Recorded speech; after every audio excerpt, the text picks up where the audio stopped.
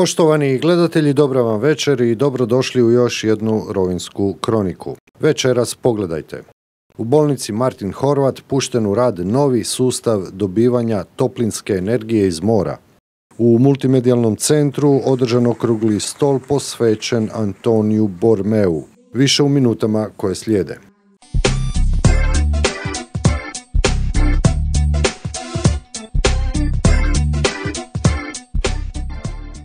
Jedan od prvih domaćih pilot projekata dobivanja toplinske energije iz mora realiziran je u specijalnoj bolnici za ortopediju i rehabilitaciju Martin Horvat u Rovinju.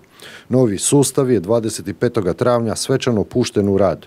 Novi je sustav implementiran u sklopu projekta C4 Heritage Energy Transition, C-HEAT, koji je bio vrijedan gotovo milijun eura. Razlog zbog čega se bolnica upustila u ovakav projekt je naravno postizanje veće energetske učinkovitosti i uštede, što je posebno važno u kontekstu sve većeg podizanja cijena energenata. Radi se o projektu proizvodnje ogrijevne energije iz mora i to pomoću dizalica topline, što mnogi smatraju sustavom grijanja budućnosti. Kao što vidite, svaki uspješni projekt mora imati određeni broj partnera, još bolje ako su iz različitih struka, znanja još bolje ako su iz različitih država kako bi mi importirali ili eksportirali znanje.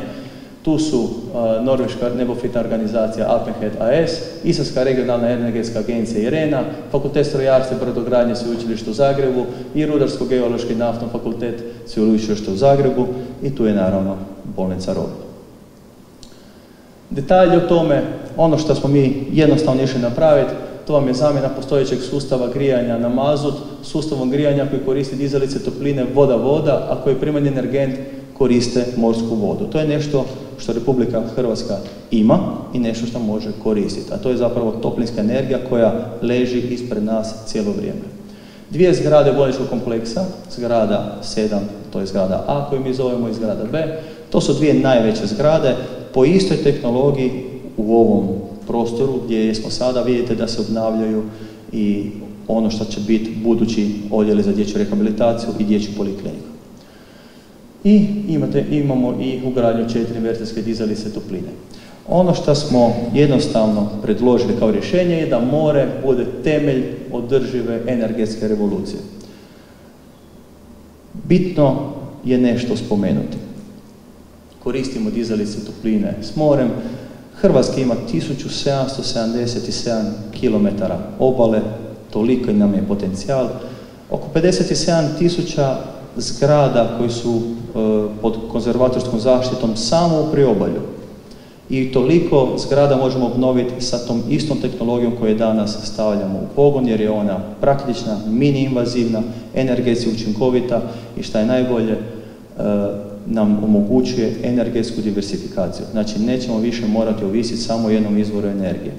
Ono što koristimo, to je zapravo termodinamika, fizika u funkciji medicine, kao što nam je fizika dala magnetsku rezonancu, CT, angiografije, tako nam je sad fizika pomaže da grijemo i u buduće, ja se nadam, i hladimo te naše odjele.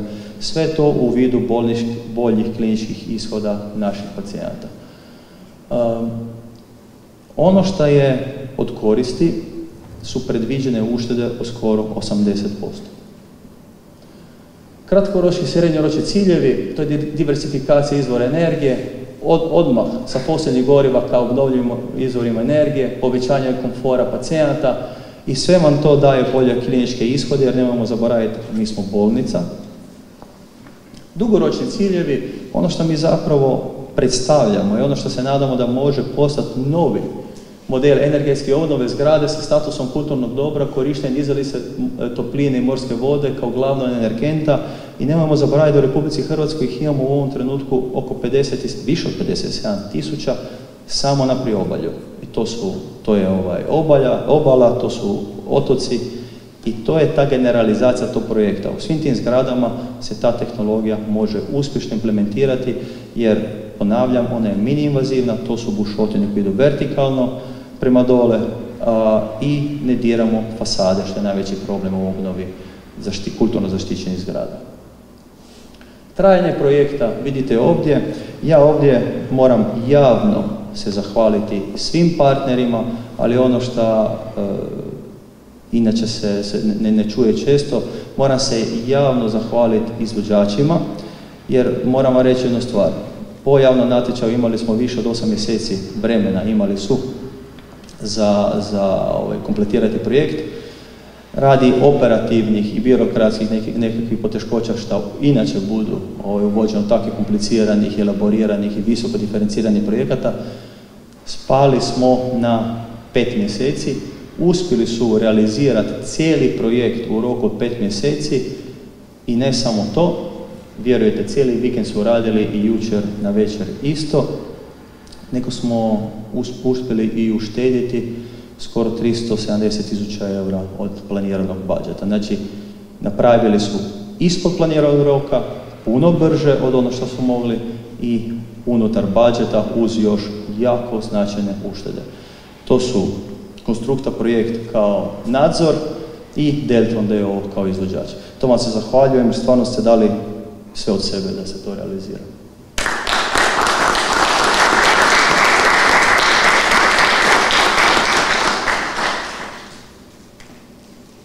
Ono što smo rekli, postignuti ciljevi jesu i želimo da budu smanjenje emisije CO2, smanjenje troškova za toplinsku energiju, energetska učinkovitost u zgradama kulturne baštine, smanjenje ovisnosti o fosilnim gorivima i model za buduće projekte u Hrvatskoj. Kad mi pričamo o zgradama kulturne baštine, moramo se sjetiti da većina tih zgrada to su javne zgrade u koji ili rade, ili jesu, ili e, postoje vrtići, škole, sudovi, općine, bolnice.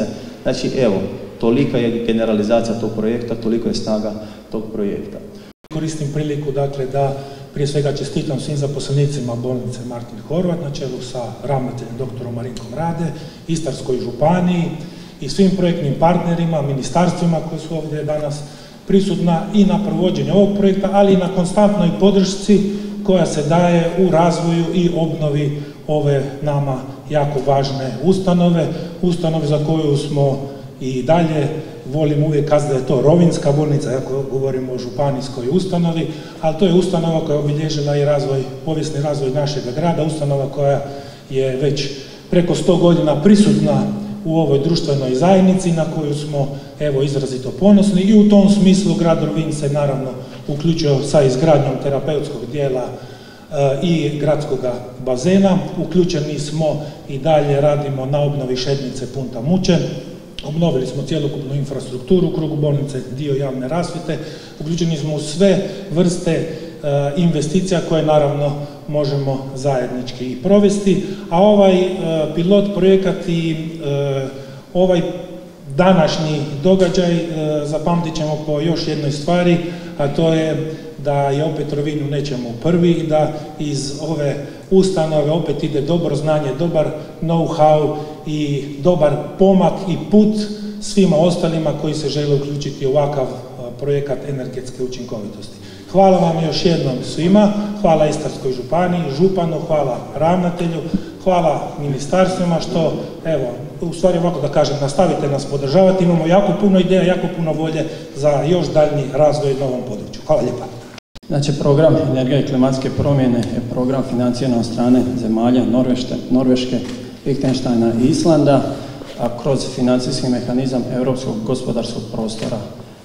Važan element samog programa je taj što on ima za cilje upravo što ovaj projekt realizirao.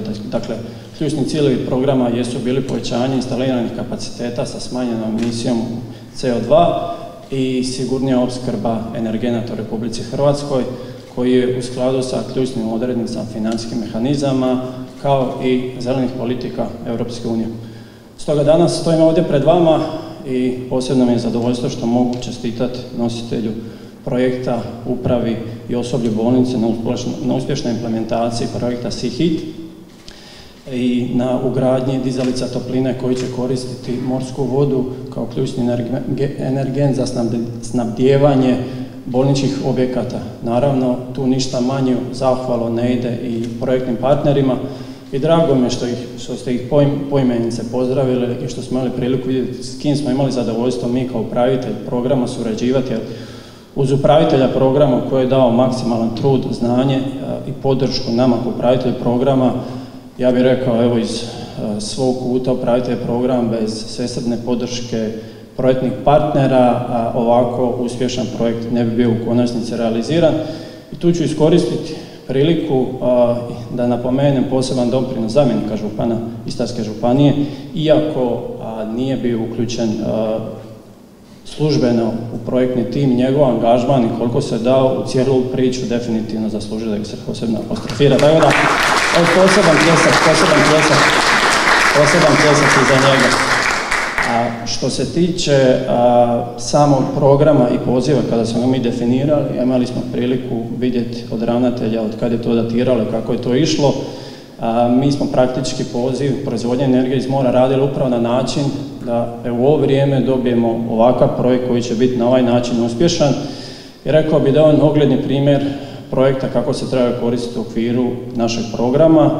A, tu osim realiziranih rezultata važan je ovaj element suradnje, element suradnje na razini partnerstva, element suradnje na razini cjelokupnog programa.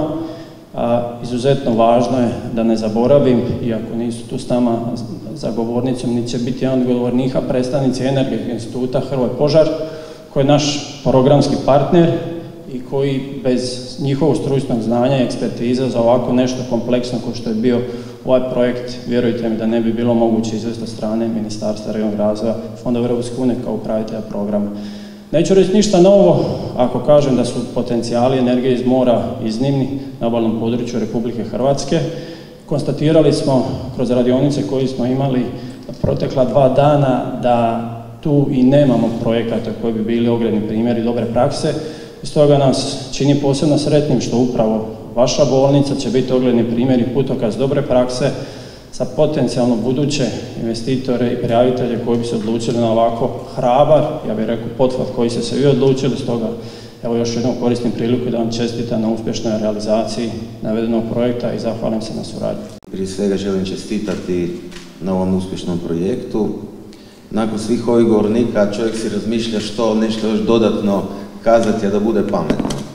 Pa ja ću pokušati prije svega zahvaliti upravi bolnice, svim djelatnicima iz razloga što osim što provodite svoje zadatke u smislu zdravstva, imate doista i čitav niz projekata koji nisu striktno vezani uz zdravstvo, ali kako doprinose kvalitetnijem kvalitetnijem radu e, vaše ustanovi. Kao što je gradonačelnik rekao, da, vi volite to zvati Rovinskom bolnicom, ona je smještena u Rovinju, međutim to nije samo županijska bolnica, dakle mi jesmo formalni osnivači, vjerujem da ovdje svoje usluge pronalaze pacijenti iz puno, puno širega područja. U samom startu želim se zahvaliti nadležnim ministarstvima, posebice regionalnom razvoju i europskim fondovima, Ministarstvo zdravstva također, naravno, i u svakom projektu ima poteškoća, ima izazova. I ovaj projekt je naišao na jednu kritičnu točku kad je trebalo imati prije svega volje, hrabrosti, ali i međusobnog povjerenja unutar tima, jer bez tima i kvalitetnih partnera teško je realizirati ovako kompleksne projekte. Znam kad sam razgovarao sa svojim zamjenikom, kolegom, prije svega Tulijom i njemu se posebno zahvaljujem, jer on ima doista vjere da ćemo ovaj projekt realizirati kako je zacrtan, a kad se radi o određenim fondovima, onda tu postoji još jedan uvjet, a to su rokovi. Dakle, izvršiti projekt unutar rokova, nemati takozvane e,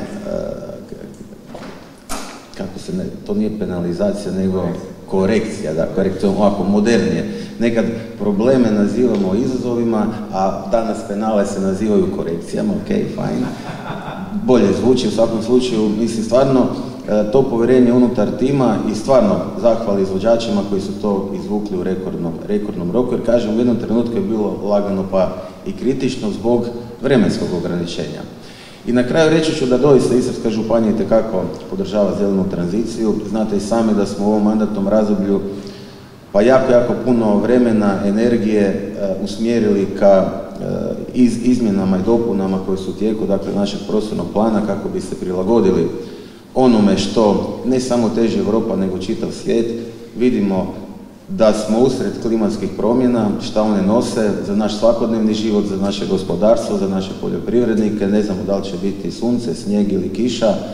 Ovog ožujka nisu bile tri marčane bure, bilo je puno juga, dakle klima se definitivno mijenja i ukoliko kao ljudi možemo nešto napraviti, a svatko od nas po nosu može, onda doista trebamo težiti obnovljivim izvorima energije, koristiti potencijal sunca, koristiti potencijal vjetra, ali kao što i vidimo koristiti potencijal mora.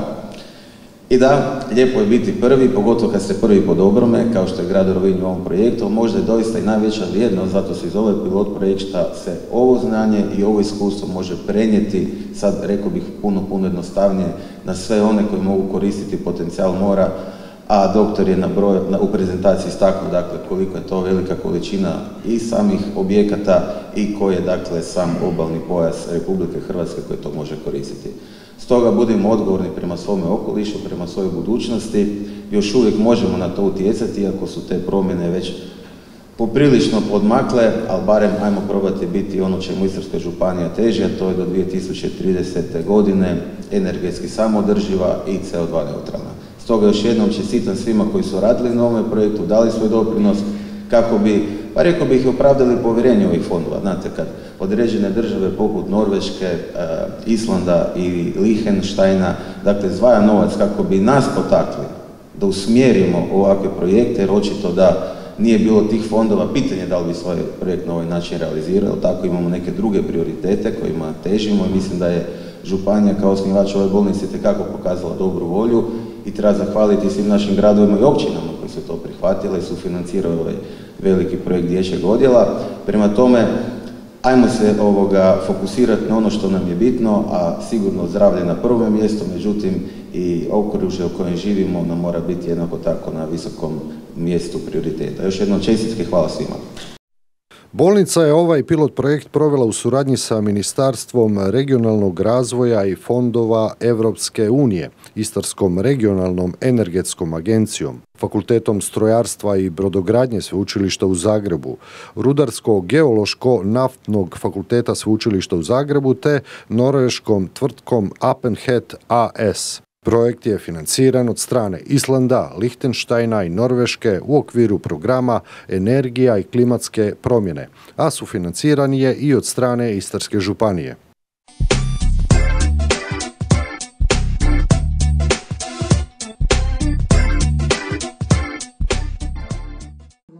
U organizaciji zajednice Italijana Pino Budicin u multimedijalnom centru je održan okrugli stol posvećen Antoniju Bormeu, poznatom istarskom prosvjetnom djelatniku. Na skupu su o njemu govorili Giovanni Radossi, Ezio Đuričin i Gianfranca Blandini Šuran.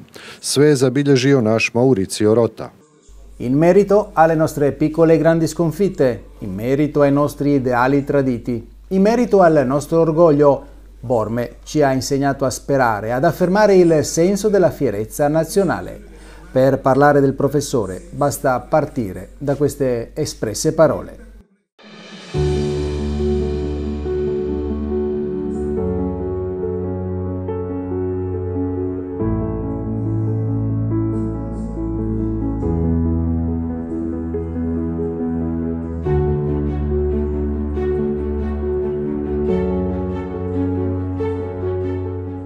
Le parole in apertura sono state tratte dai ricordi anche personali di uno dei tre relatori della serata, lo studioso, pubblicista, nonché collega giornalista di TV Capodistria, Ezio Giuricini.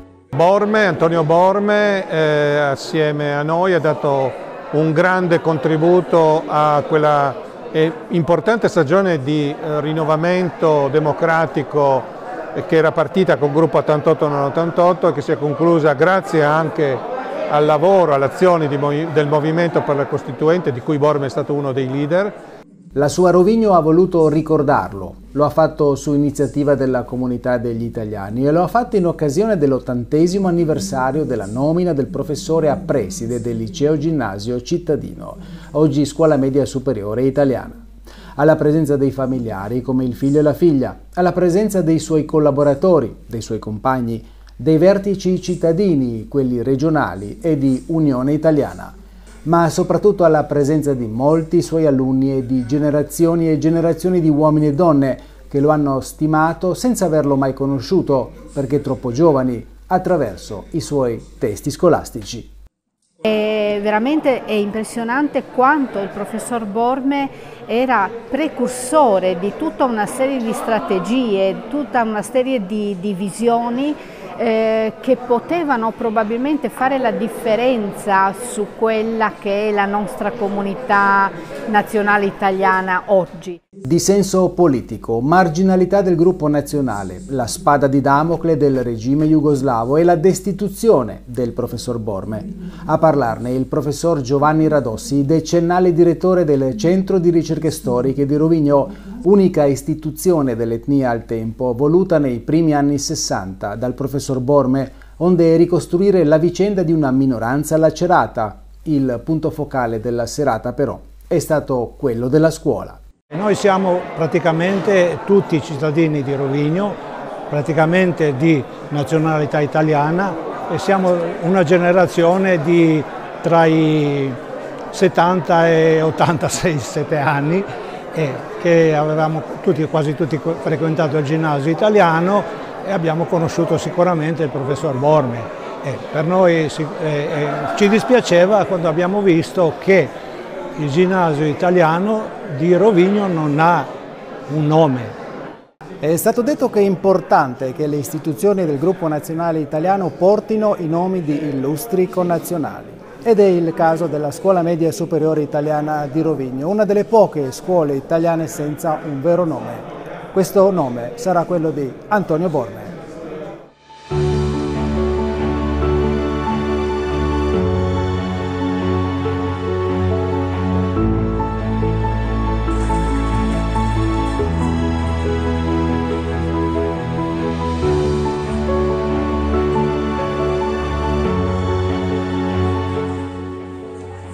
Sarà ora il comitato scolastico a proporre al fondatore della scuola, la regione istriana, l'assegnazione del nome. Nelle immagini l'attuale preside, professoressa Ines Venier.